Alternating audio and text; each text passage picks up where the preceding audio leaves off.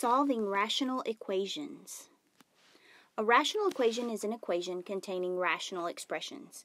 And if you'll remember, a rational uh, expression is just basically a fraction. If we have an equation where a fraction equals a fraction, where we have a single fraction equals a single fraction, it's called a proportion. And we can solve a proportion by cross multiplying. So it doesn't matter which um, crisscross you do first, you can multiply the x times 15 first or the 10 times 48 first. It doesn't matter. If I multiply x times 15, then I get 15x equals 10 times 48, so that's 480. And then to solve this, I would just divide both sides by 15.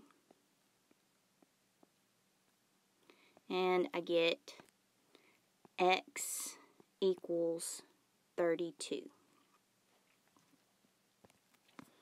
Here we have another proportion. We have a single fraction equals a single fraction, so we're going to cross multiply. Alright, so if I cross multiply this, that's 3 times that whole numerator, which is x minus 1, equals, this would be 2 times 5x plus 2. Okay, so since we're multiplying a monomial or a single term times a binomial, we have to distribute. So that gives me 3x minus 3 equals 10x plus 4. Okay, so I want to get my x's on one side, my constants on the other side, so I'm going to subtract 10x from both sides. And that gives me a negative 7x minus 3 equals 4. I'm going to add 3 to both sides, and that gives me a negative 7x equals 7. Divide by negative 7, and x equals negative 1.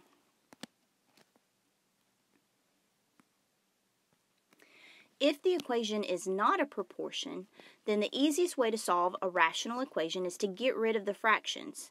And we can do that by multiplying every term in the equation by the LCD or the least common denominator. So if we look at this equation, the least common denominator of this equation would be 24.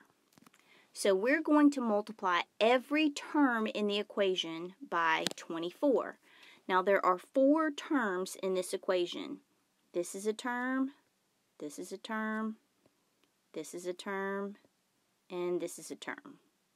We want to multiply every term times 24. Alright, so if I multiply this times 24, times 24, times 24 times 24. Okay, so we could multiply the 5 times 24 and then divide by 8 in this first term, but it's easier if we go ahead and reduce first. So anything that's on the bottom or anything in the denominator can divide into anything in the numerator. Well, 8 will go into 24 three times. So then we can just multiply 5 times 3. Otherwise, we'd have, if we multiplied 5 times 24, we get a really big number, and then we have to divide by 8. So I'm dividing first, and then if I multiply 5 times 3, I get 15. And don't forget the x, plus 1 times 24, which is 24, equals x times 24, so that's 24 x. Okay, then we're going to do the same thing in this last term. I'm going to go ahead and divide before I multiply. 6 will go into 24, will divide into 24 four times. So now I'm going to multiply 4 times the negative 1, this negative 1. Make sure you pay attention to the signs. Okay, so 4 times negative 1, that would be negative 4. So now all of the fractions are gone and I can just solve this linear equation. Again, I want to get all of the um, variables on one side and all the constants on the other side. So I'm going to subtract 24 from both sides first. Alright, so that gives me a negative 9x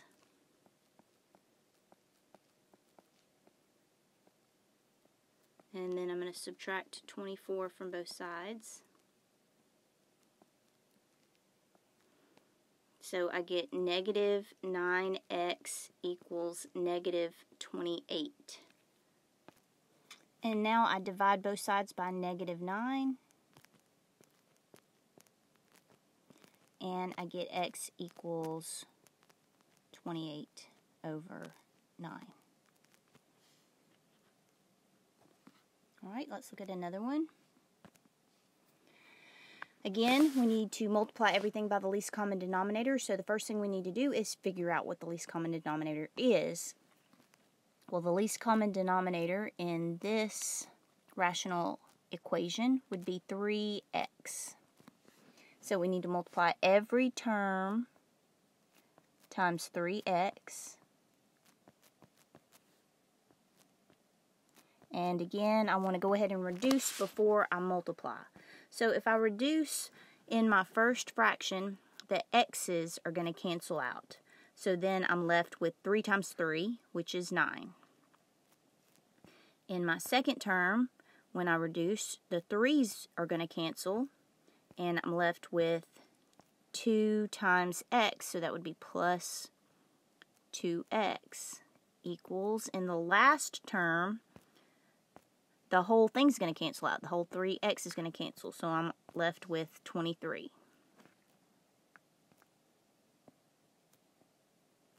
Alright, so then to solve this, I'm going to subtract 9.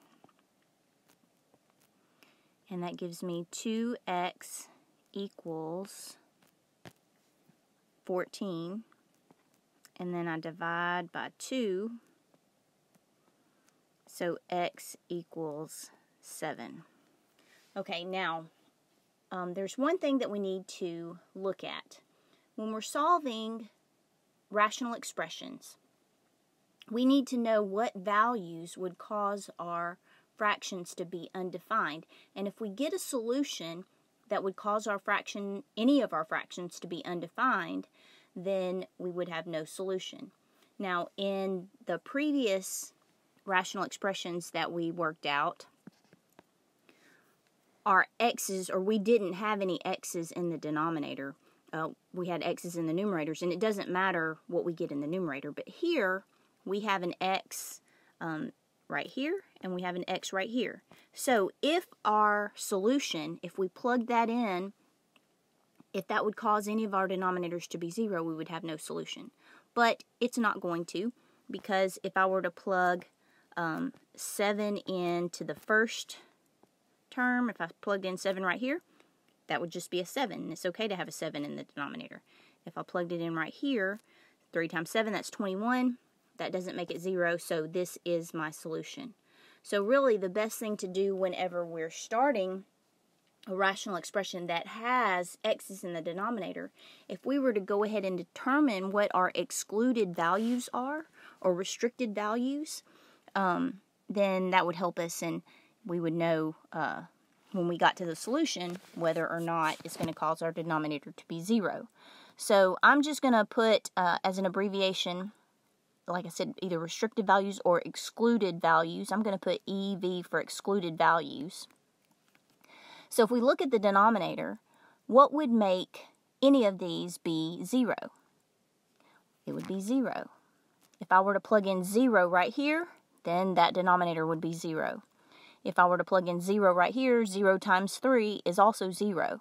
So 0 is the only value that would be excluded from um, our possible solutions. But we didn't get that for an answer, so our answer, our solution is 7. Alright, so let's look at this next problem. First of all, let's determine what our least common denominator is. Well, our least common denominator here is x minus 4. Right, so remember when we have a binomial, it's stuck together. We don't think of this as separate numbers. Well, x minus 4 is in both of these denominators, so that is my least common denominator.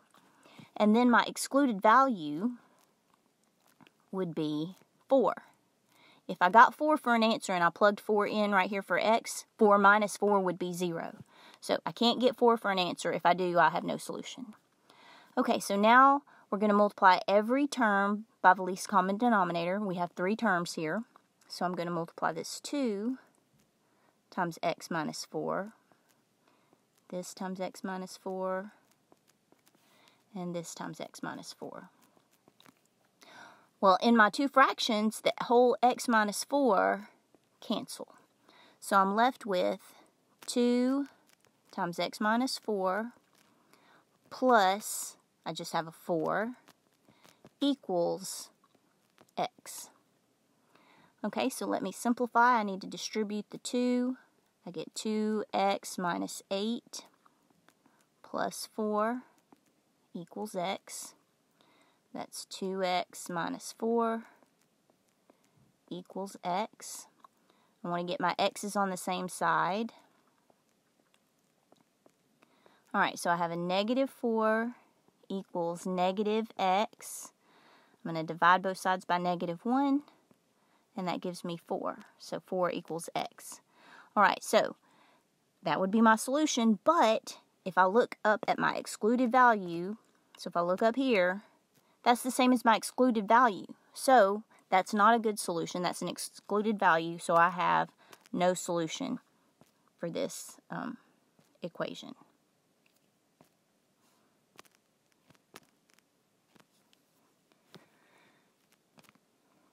All right, let's try one more. Now, before we can determine what our least common denominator is, we have to make sure that all of our denominators are completely factored so that we can be sure to include every factor, every different factor in our least common denominator. Well, the last denominator here is not completely factored. We can factor this by using a difference of perfect squares. So if I factor x squared minus 9, I get x plus 3, x minus 3.